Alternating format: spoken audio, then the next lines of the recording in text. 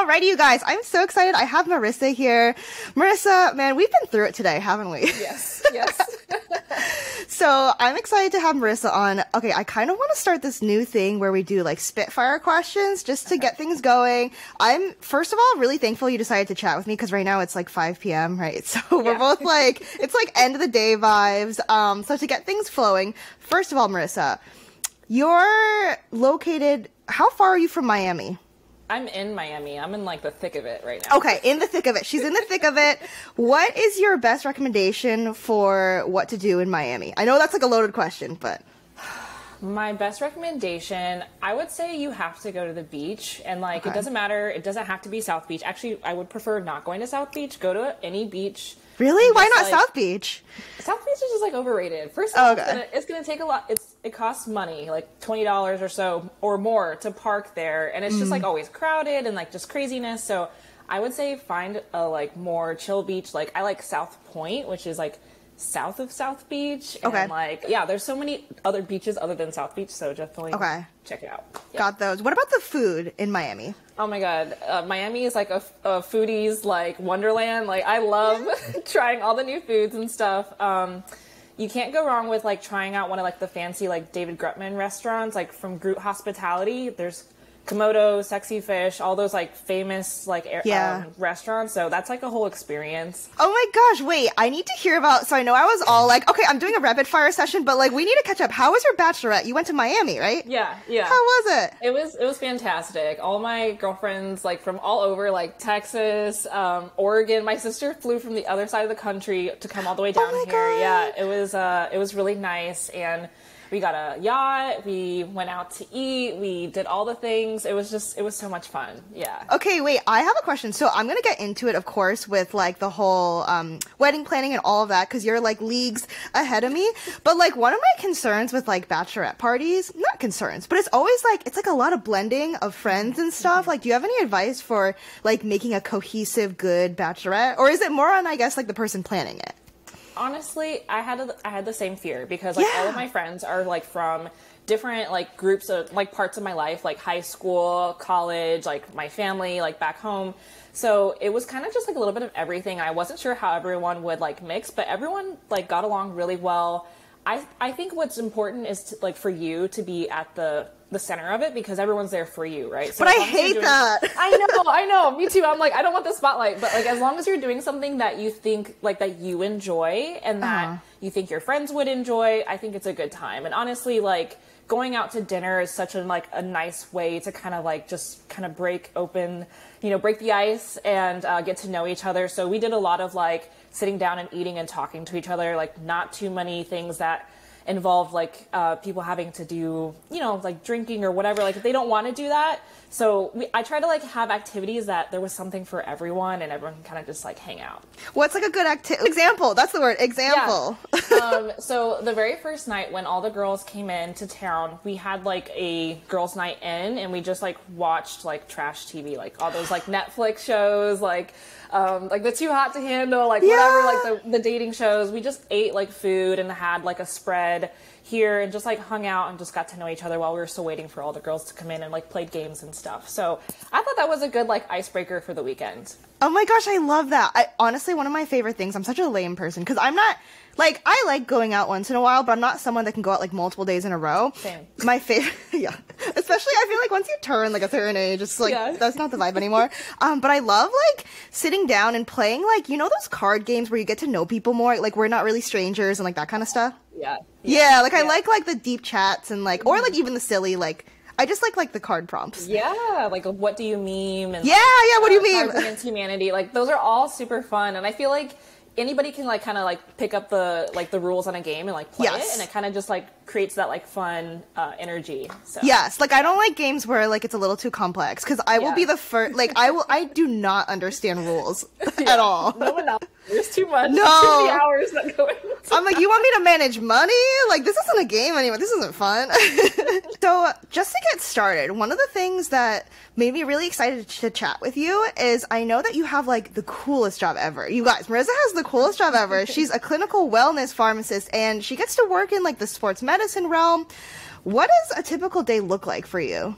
Yeah. Um, So this is always hard because like I feel like no day is the same, but um, I do I have like a hybrid work environment. So a lot of the things I do from home is like uh, project management, um, a lot of outreach, t- talking with people, networking. Um, we are working with some really cool like vendors and like the health and beauty space. So I do a lot of um, calls with them, and then I do have days in the clinic where I go into the sports medicine clinic and we work closely with the Miami Dolphins physician and we essentially follow their patients and we get to see um, athletes retired um, sports athletes people who come in for any kind of like sport related injuries things like that. Um, it's really neat and you get to see things that like you typically wouldn't see in like a normal i guess like clinic. Um, and we get to offer them lifestyle type of modifications and recommendations. Um, we talk about supplements like uh, taking like a bathroom uh, uh, oh my gosh, uh, Epsom salt bath. Yeah. I was saying bathroom salt. No, that doesn't make sense. Epsom salt. salt bath, um, stuff like that. Like like you wouldn't really typically recommend that right off the bat, but depending on what their needs are, we talk about different like things like sleep and nutrition, exercise. Um, it's really interesting, and I love it because I come from a sports background, so it's very much up my alley, and it's like a combination of my passions and my education. So it's it's my like my dream job. Oh my gosh. Wait, I love that so much because I feel like traditionally, like people always think of pharmacy as like only one type of role. Mm-hmm. But I feel like the more that we learn about medicine, the more we learn about how important it is to have a pharmacist pharmacist on your team. I just feel like this is such a good example of like one niche realm that like people don't really associate pharmacists with, but I'm sure that you help so much with. What's it like kind of being the pharmacist on the team in the sense that like is it similar to other types of roles where you can like round with the doctors when you're like learning about all of the patients um and also do you ever like when you're working with the vendors what does like the role actually what is your role actually like as the pharmacist working with the vendors Yeah, yeah. So, the, for the first part of the question, so ours is more like clinic based. We work specifically with um, specific physicians who want a pharmacist in their office. So, Got it. We're still kind of onboarding other physicians who, like, we have actually quite a few people who have reached out to us and we're like, uh, we're gonna need to hire more people because we cannot do this on our own. Um, and we work directly with the physician. So um, if there's a specific person he wants us to see, then we'll follow them Got um, it. throughout their care. But the, you know, we kind of look through the chart and we see like people who we think would be good people to um, have an intervention with and talk to. We don't really necessarily do rounds. We kind of just like look. It's kind of more like an ambulatory care setting where we kind of Oh, like okay. have a list of patients. We can kind of look and see their history, what they're there for, and then um, talk to them based off of that. And then the physician we work with, he's amazing. He's very innovative. He's all about like all the health and wellness and prevention type of things. So he gives us plenty of time to like talk to them.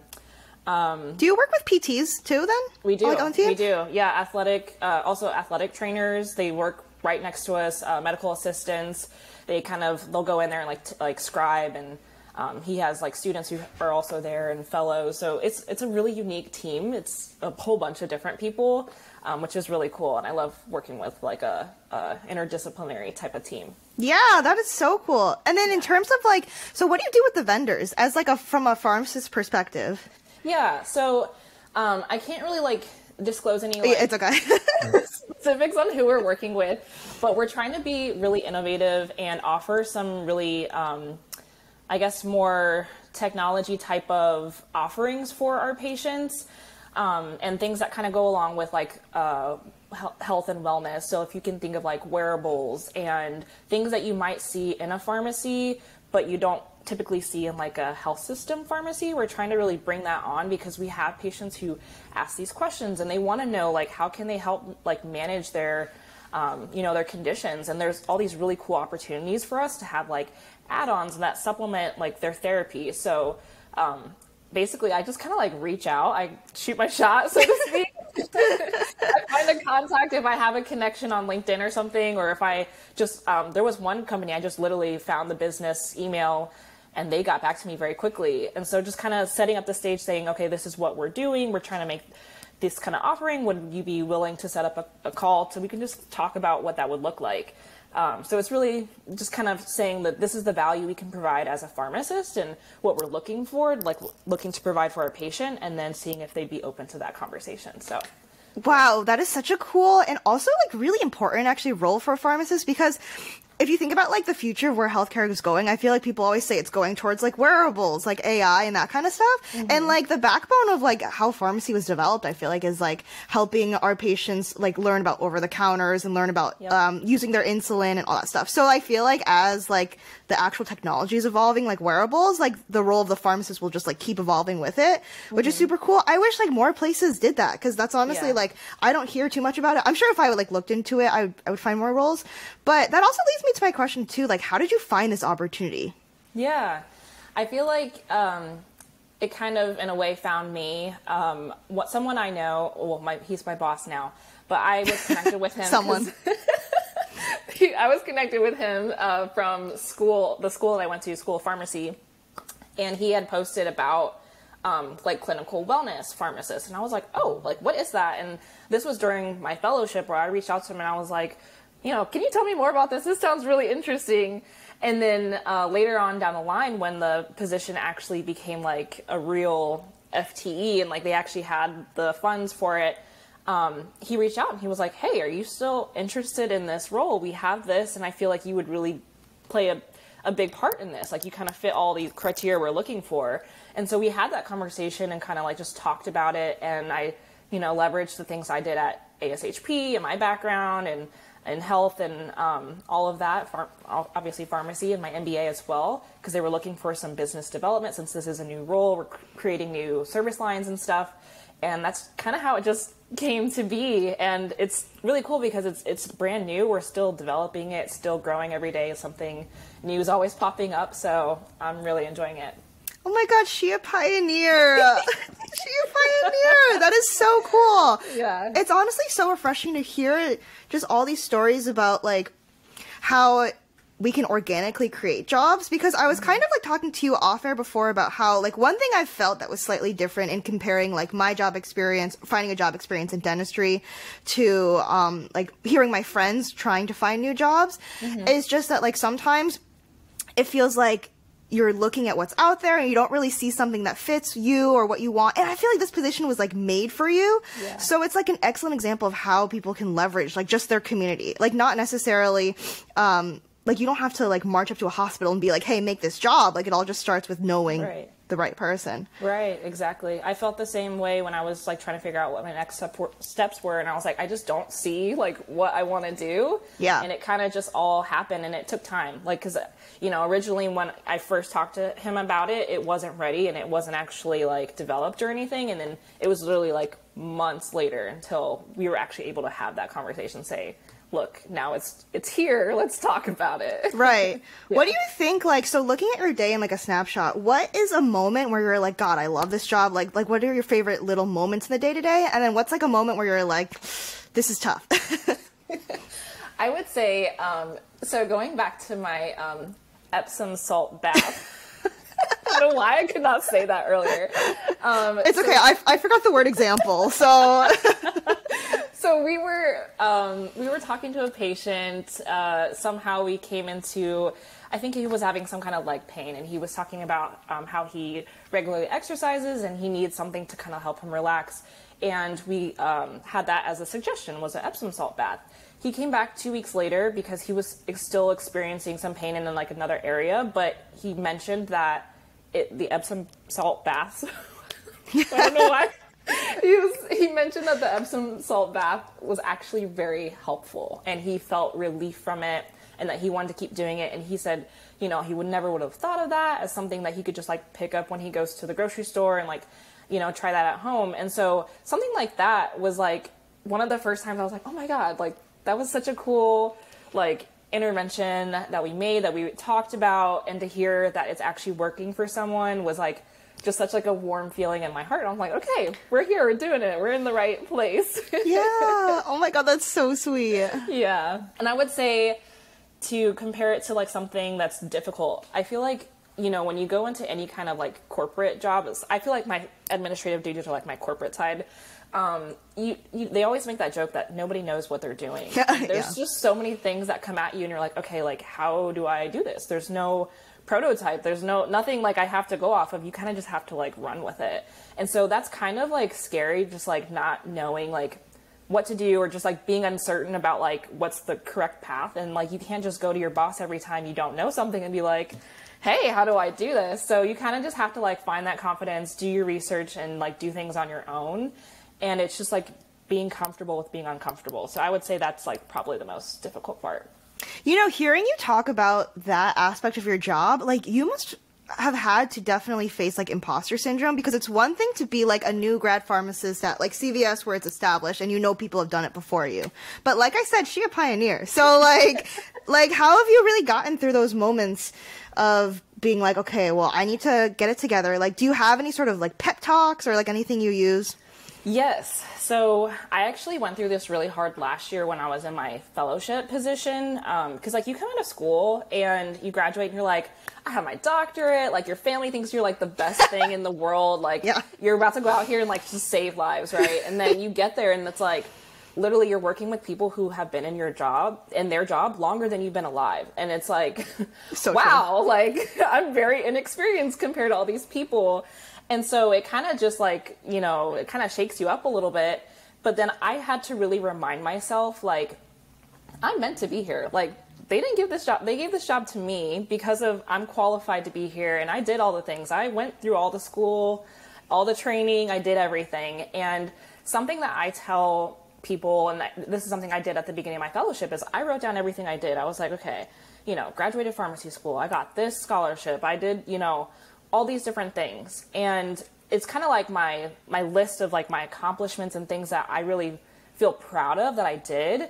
And I remind myself when I'm like, you know, feeling like an imposter, I'm like, okay, I did all these amazing things. Like I really am meant to be here and be in this room. And so it's just about matter of like reminding yourself and like trying to find that confidence and you know really give yourself that positive self-talk because like some people are just if you're anything like me like critical about yourself and whenever you like you feel like you're messing up and you just want to be perfect and you can't always be perfect it's not going to happen so just trying to have that positive self-talk is really important It's so true because I feel like when we're in the moment, it's kind of really hard to take yourself out of like that and see things big picture. But like when you do, like you said, and remind yourself, like there were times I didn't know I could make it through pharmacy school. I didn't know I would be able to get through fellowship and find a job. Like I feel like mm-hmm. that's so powerful is to like remind yourself that. If only we just had more like intentional time in our day to day to do it right a little bit about your fellowship. So you were, I want to make sure I get this right. So you were an executive fellow in uh, for ASHP, which for anyone listening that's not familiar, it's the American Society of Health System Pharmacists. It's like one of the biggest orgs in pharmacy. Um, and like in particular, you were a fellow in Association Leadership and Management. Whew. So that is just like a lot. And like I was watching your vlog on your YouTube. You, she has a YouTube channel, by the way. Um, you can like drop it once we finish the episode, and I'll have it linked. But I was watching a vlog, and I just thought it was so interesting because this is a position that I never knew about. I've never heard. Um, you mentioned too that transitioning from like being a student to being a pharmacist fellow was like one of the difficult parts of it. Could you just elaborate on like that and the feelings you went through? in this position, um, like you said, ASHP is like a well-established organization, and I loved working for them. Like it was a dream come true. Something I didn't even know was possible, like in pharmacy school. And then when I learned about it, I was like, "This is perfect for me." I was like, "I love organizations." Like I was the uh, student government association president in pharmacy school, so like it was very similar to a lot of like the things I was doing when it came to like creating policies and like advocating for the profession and all these different things. And so I really enjoyed that. And then um, getting there, it's kind of difficult. Like when you, like I said, like you jump from being a student and then you graduate and you're like, okay, like you're on top of the world, feeling like super great. And then you go into, instead of going into like a full time role, you're going into like a trainee type of role. And so you still feel like you're kind of like that student or that you have something more to learn. And it's great like we're going to be forever learners. Where that's where that's healthcare. Everything is always evolving. But like it's just kind of hard because you just you feel kind of like out of place for a second and you're like dang this is so different from like what i was doing. And that you feel like you have so much more responsibility. Having like you know the credentials now and all the stuff it's like they're really having like high expectations for me. And so um, you know that was just kind of hard to kind of you know find at first and uh, for anyone like in that kind of situation i highly recommend finding a mentor um, and like you know, creating that rela- relationships with people like who you work with that you look up to that can kind of like guide you along that process really makes a big difference, especially when you feel like you just kind of feel like you stick out and you're like, what, what where do I go? Like, what do I do? Right. Finding that person who can be there for you and kind of like help you through like a new period of your life will make such a big difference. What was like a really good piece of advice that a mentor or someone that helped guide you there taught you? Yeah, I would say, um, and I, I guess it goes back to like the whole imposter syndrome thing. Was you know, I some I was talking with somebody who I'm still talking to you today. Saw her a few weeks ago, and she was like, Marissa, you are here. Like you are meant to be here. And she kind of like was that person who reminded me of, of that. And that's what I had to continue to tell myself every time I felt out of place. And she um, was really like that person, like my champion. And she really just like believed in me and helped me like believe in myself again. And, and it was really helpful for me, honestly. Oh my god, that's Yeah. so sweet. Yeah. While you were there, you were talking about how you work on different projects. What was like a really memorable project that you worked on? I would say, um, oh my gosh, I worked on so many different projects. I would say the guided mentorship program. This was a really cool project because it stemmed from the ask from the, the DEI, the Diversity, Equity, and Inclusion Task Force.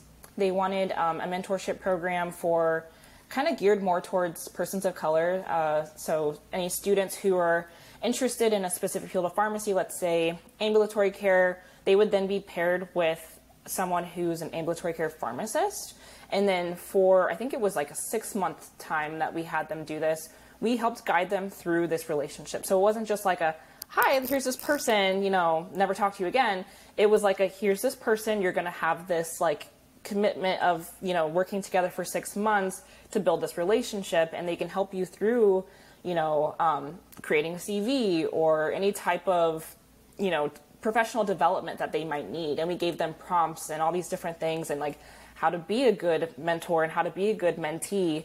And we had so much positive feedback from it. It just like made me so happy. I was like, oh my God, like I love that. Like people said they were getting like letters of recommendations from their mentors because they really like just had such a great connection. And um, yeah, I just loved the fact that we were able to bring people together because I knew when I was in pharmacy school, I didn't have a mentor. It was hard for me to connect with people who were um, senior to me, and I was just doing so many different things. And so to have that opportunity and be able to give that to other students, I think was really special.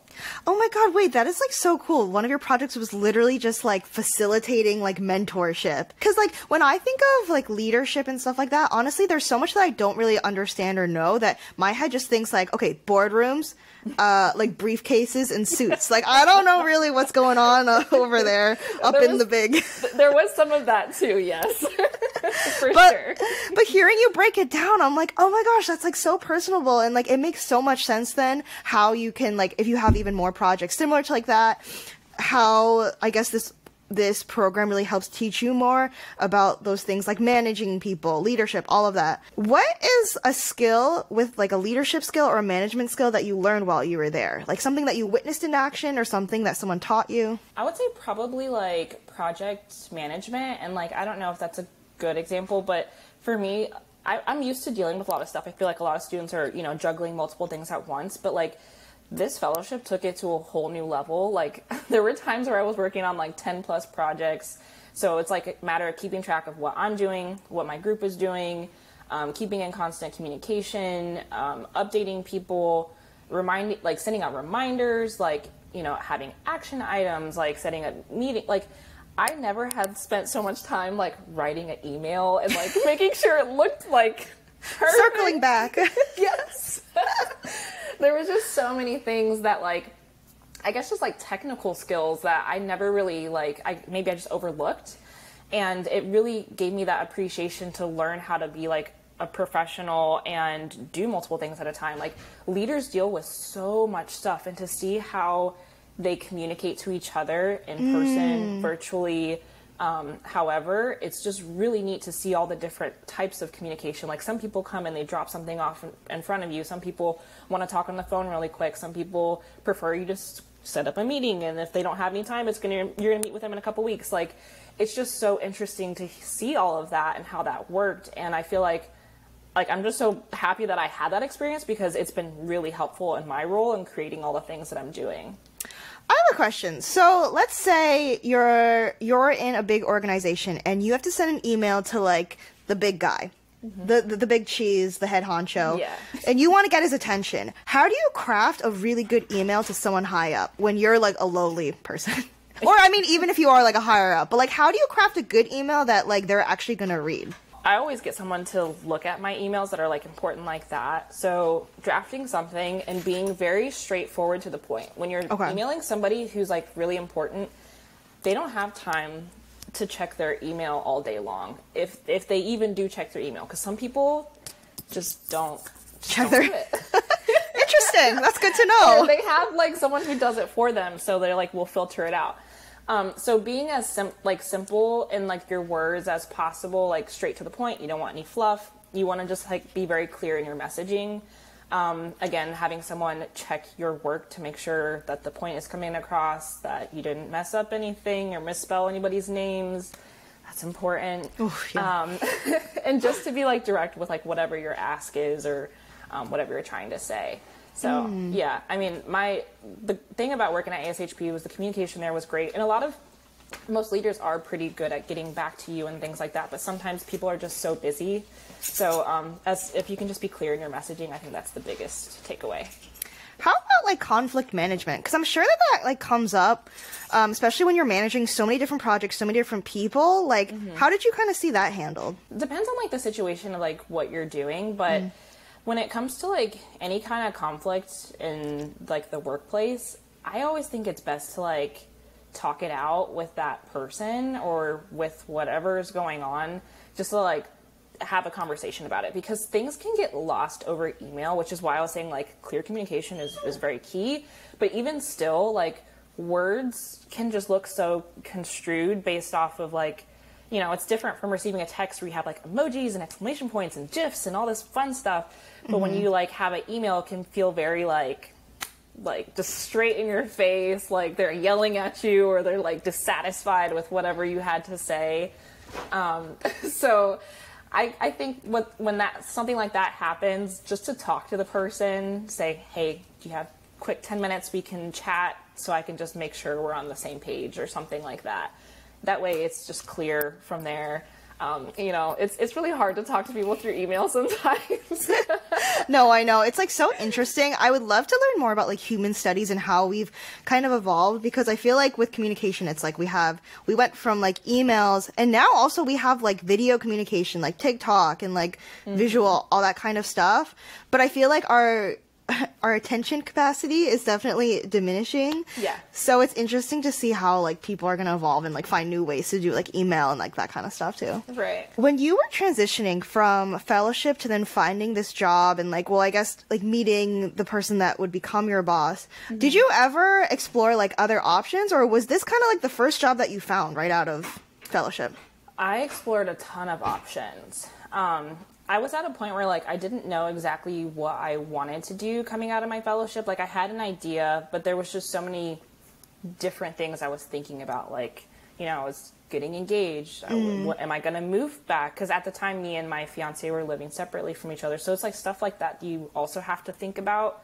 Um, and you know what do i want my like work life balance to look like so there was just so many like i looked at quite a few different opportunities and i received a lot of no's like unfortunately you know i'm i'm great on paper and all these things like you know but that's just life you're going to receive no's and it can be very um it can make you feel a little sad in a way and Yeah. you're just like oh like you know maybe you really wanted it but um every closed door is honestly like that means just something better is coming for you. It's another opportunity. So, um, yeah, I, I definitely looked at other other places to see what happened. And honestly, I was moving from DC to Florida, and that's when I got the call like, "Hey, how are you? What's going on?" And so, like, honestly, it was just pure faith. Like, I knew something was coming. I didn't know what it was, but I knew it was going to be good. And um, yeah, I just kind of had to trust the process on that one. it's kind of crazy because now that I like see what your job is today, I'm like, oh my gosh, there's like this job was like made for you. Like the other jobs like wouldn't even like compare. Right. Like I feel like I'm like that's like crazy that you ever like felt sad about missing out on those jobs when like this job would end up being here. Yeah. Um, do you have any advice then for let's say someone that's in the pharmacy field or like in any field really and like they want to get out of their current situation but like maybe they don't have that mentor or someone with the opportunity yet. I still like really believe in like putting the vibes out there. Like how do you think let's say someone has a sports medicine clinic near them and they want to do something similar to you.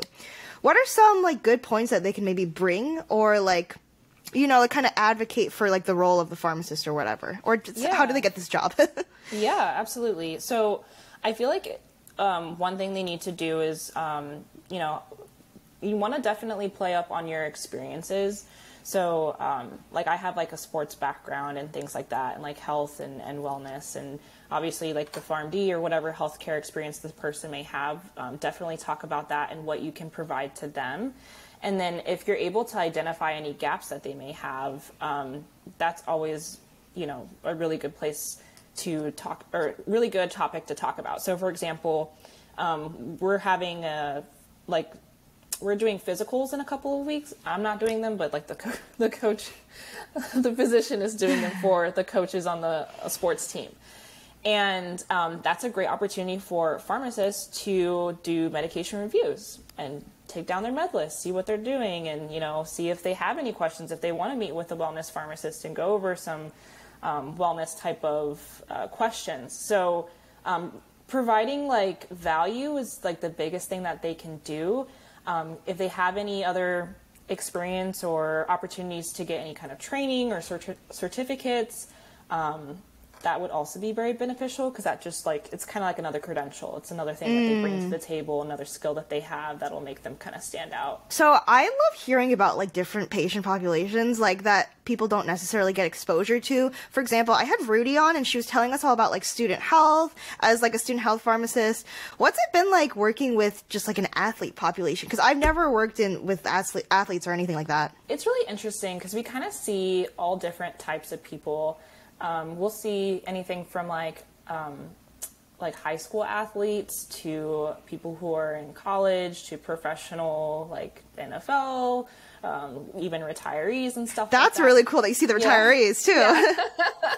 yeah. And I'm just like, oh my god, it's like starstruck. But um, No, it's it's really neat because everyone kind of has like their own um, mindset in the way that they come in to treat their you know whatever it is they're coming in for, and so to be just like open to how they perceive things because some people don't want to you know go on any kind of medication and some people want to try out different options and so being open to what the other options are is really important.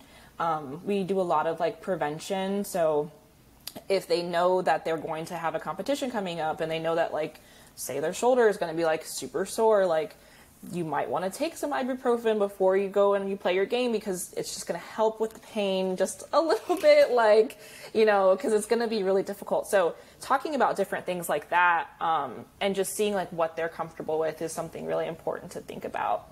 What is what is like the most common uh, injury or complaint that you get from your patients? we see a lot of like back pain um, shoulder pain is also very common uh, we do a lot of like x-rays on like shoulders and um, knees. Knee pain is another one that we see is pretty common. Um, yeah a lot of just like muscle type of injuries and musculoskeletal type of things yeah You know what scares me is like back pain because I feel like back pain is one of those things where like you know how sometimes you have a cold and you regret all the times you didn't have a cold. I feel like when you have back pain, you're like, oh, I missed the days I didn't like. If you ever sleep on your neck weird or your back weird, like I just feel like the back muscles are all just so intricate. I don't really know much about it, but I feel like if you mess up something, it is it harder to pinpoint than if you just mess up like um like if you mess up a finger, you know it's this finger. But like the back, I feel like there's so much more going on there. there there really is and that's kind of where the whole like working as a team comes into play because like the athletic trainers are definitely more um, aware of like the different type of like muscle groups and all these different things. Like they're always teaching me things. I'm like, oh my gosh, like how cool. Yeah. Um, and then like you know the other things like doing X-rays and ultrasounds and all these other um, diagnostic things that they do. They have all these different like uh, movement type of um, I guess exercises or I don't know, I forget the word for it, but they do these different tests on them, I guess, to see like what their range of motion is and all these um, it's just really interesting. Like it's just so different from what I'm used to, and I think it's really cool because it's like I love learning and I love like seeing new things. So I, I don't remember what your No, it's okay. you totally got it. Honestly, it was more of a tangent. I was just like, back pain scares me. That was it. no, it scares me too. Yes, yes, it does. You're like, in conclusion, we are scared of back pain.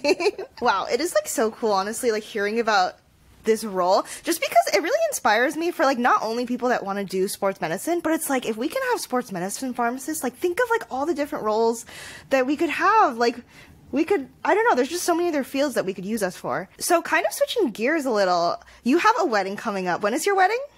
March 25th. oh my god wait that's We're- like literally a month. Yes. how do you feel?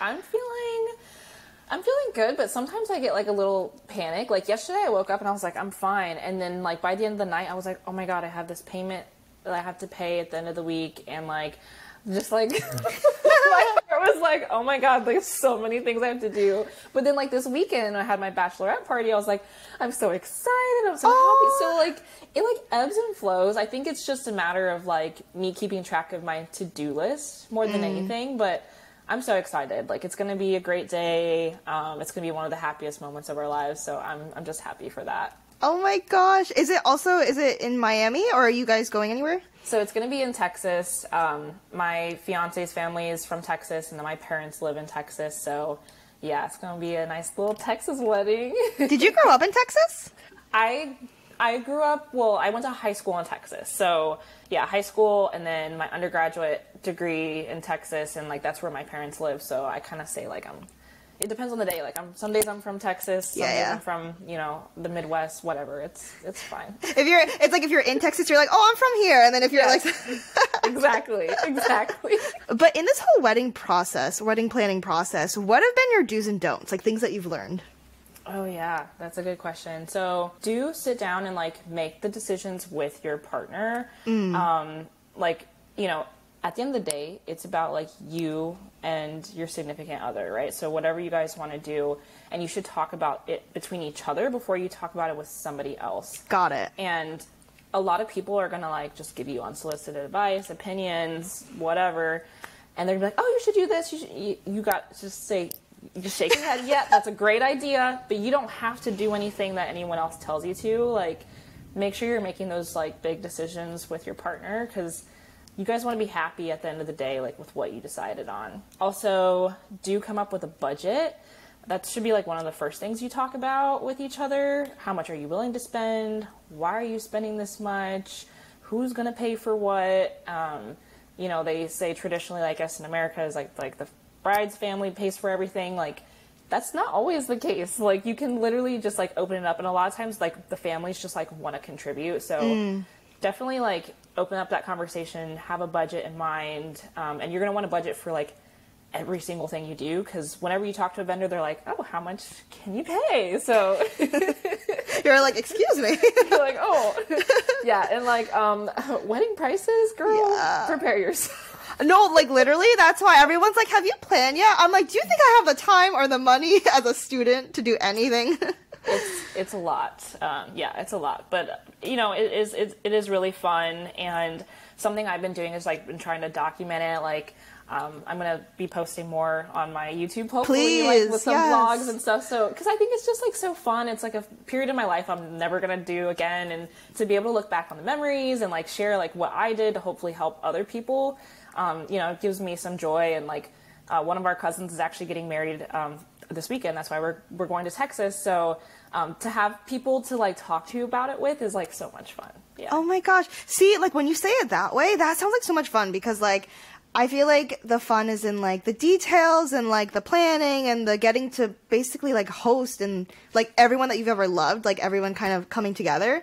But I think the things that like stress me out, at least personally, about even like the thought of starting to plan a wedding is just like, oh my god, like I want to make sure everyone is like okay and having a good time. I don't want to hurt anyone's feelings. And like weddings just seem like the ultimate like like choosing bridesmaids, um, seating arrangements. It's just Yeah. a lot of social messiness, I feel like. It is, it is, and I'm right there with you. Like for a while, I was like, I don't think I want to do bridesmaids because I don't want to pick between my friends. Like I said, like all my friends are from like different areas, different stages of my life, and I did end up deciding like, yes, I'm going to do bridesmaids because I'm like, I'm getting married once. I want to have the experience, and you know, almost all of them told me they're like, this is the first time I've ever been a bridesmaid, and they were oh. so excited, and they were like. I don't know when I'm ever gonna get this chance again, so I was like, Aw. the oh. tears. Was You're like, like- oh my god. You're like this whole time I wanted you to be a bridesmaid. yeah. And That's so, funny.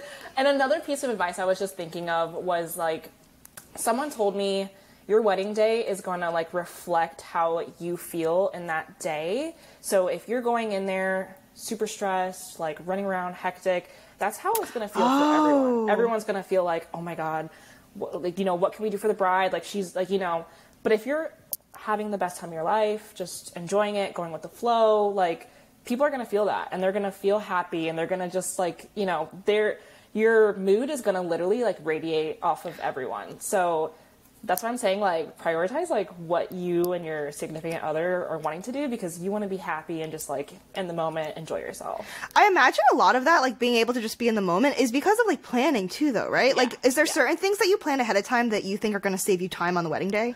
Um, absolutely. Like, so I have a wedding planner um, because I am living in Florida while my wedding is happening in Texas. Oh, I was like, yep. I was like, I need someone who is familiar with everything, and um, she's been pretty good. And so a lot of like the wedding day stress and like planning is going to be s- heavily relied on her because I don't want to deal with all the questions about everything. So, um, yes, planning is, is so important. And I feel like the more you prepare, the better it'll turn out. But I mean, you know, nev- you also have to expect the unexpected. So just like if something does happen, try not to let it ruin your day because at the end of the day, you're with like the person you love, right? And that's like the best thing that happens. Yeah. Right. Cannot wait to see like photos and videos of everything too when it comes out. You have to please post more. please post more on I your will. YouTube. I will. um, let everyone know where they can find you on like Instagram, YouTube, all that. Absolutely. Yeah, Marissa Brooks, that's that's it and I can send you my handle and everything for you. Yay! Awesome. Well, thank you so much for recording with me today. This was so much fun. Yeah, thank you, Connie. This was awesome. and thanks so much to everyone for listening. That is all we have for this week. Uh, I'll see you guys next week. Bye. Bye!